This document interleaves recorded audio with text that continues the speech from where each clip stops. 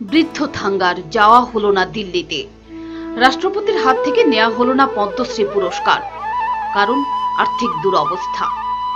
এবছর ছাব্বিশ জানুয়ারির আগের দিন রাতে দিল্লি থেকে ঘোষণা করা হয়েছিল থাঙ্গা ডার্লিং এর নাম।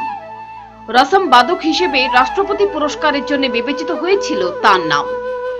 সোমবার দিল্লিতে এক অনুষ্ঠানের মধ্য দিয়ে রাষ্ট্রপতি রামনাথ কোবিন্দ এবছরের পন্ত পুরস্কার বিজয়ীদের হাতে পুরস্কার তুলে দেন। কিন্তু এই অনুষ্ঠানে থাকতে পারেননি ত্রিপুরার গর্ব থাঙ্গা ডালাং টাকা জোগাড় করে দিল্লিতে যেতে পারেননি এই শিল্পী।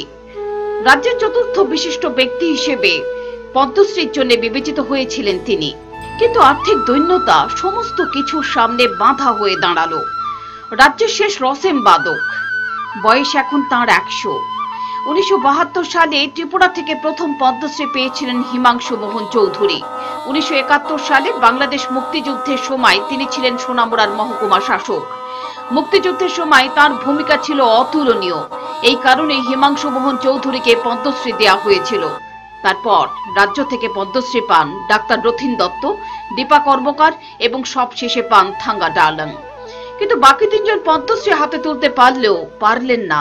এবারের এই প্রবীণ শিল্পী যদিও তার নাম পদ্মশ্রী পুরস্কারের জন্য বিবেচিত হবার পর তাকে কুড়ি হাজার টাকা দিয়ে সাহায্য করেছিলেন মুখ্যমন্ত্রী। রিপোর্ট, চ্যানেল দিন রাত।